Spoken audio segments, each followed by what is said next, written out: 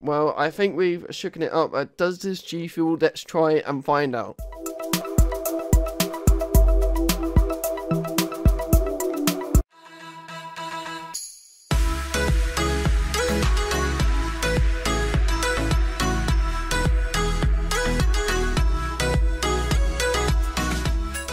Yo, what's going on guys? Today we are bringing you another G Fuel taste test series mixing and uh, as you can tell we are going to be mixing the Fruit Punch, yeah, Fruit Punch G Fuel tub and also the Strawberry Shortcake as you can tell by the thumbnail and title. I think I've had this flavour like once and I thought I'll just mix it again. I've already got my stuff ready. Before we get into this video, make sure to have me on my Snapchat, Twitter and Instagram and let's get straight into this video.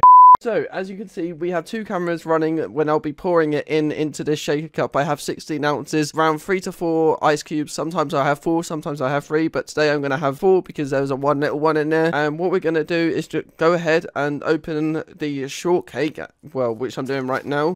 Again, it just smells like shortcake. It's a really nice smell. I'm just going to get half of the shortcake if I can. Come on. Okay, nice. I would say that's about half it's not really even, but you can see it's focusing. Yeah, that's about half for the shortcake, and I just poured it in. We're just going to close this back up and get the uh, fruit punch, as you can see. I think with the fruit punch, I've had about four times of this. I'm not too sure. I can't really remember, but I've had it like four times. We're going to get, again, half of the fruit punch and it smells really nice. I, I really do like this flavour actually. I need to have it more often. I'm just getting half right now. Hopefully, okay, it doesn't spill. I'm going to try and even it out. That's about half, as you can see. Oh, yeah, it's focusing really well this time. And we're just going to pour it in again like so.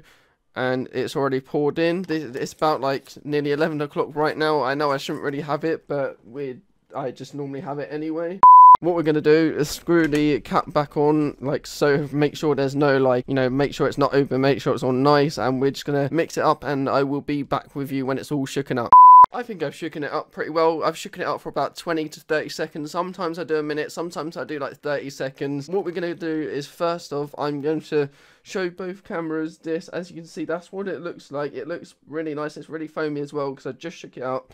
And here it is on this camera and yeah it's like a really like red color which i would assume it would be because uh, it's pink and the other color is red as well which i really like. I'm really excited to try this. I think i've had this once. I can't remember if i have or not. We're gonna smell it I can smell both smells. I wish you guys could actually like smell it, if you know what I mean, and like be there and actually smell it. Hopefully you can just picture it. It just smells like shortcake and fruit punch. I don't really know how else to explain it really. Well, I think we've shooken it up. Uh, does this G Fuel? Let's try and find out.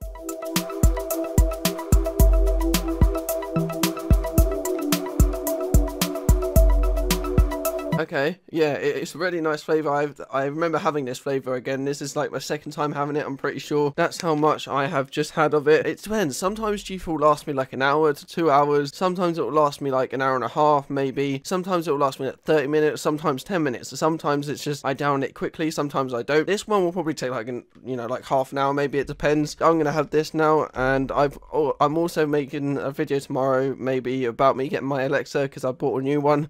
Yeah, this is being the G Fuel mixing strawberry shortcake and not Fazeberry, we've already done that, and fruit punch that's it. I really hope you like this video guys. Please leave a like subscribe turn on my notifications. I upload every day at 6 p.m and before i end this video the reason why i asked you guys to turn on my notifications is because youtube is making it really hard now. Apparently you have to have notifications on my videos to go out if you know what i mean. So i would highly recommend and i would appreciate it. It helps me out and it helps you like a lot out. And i'll see you in the next one. Peace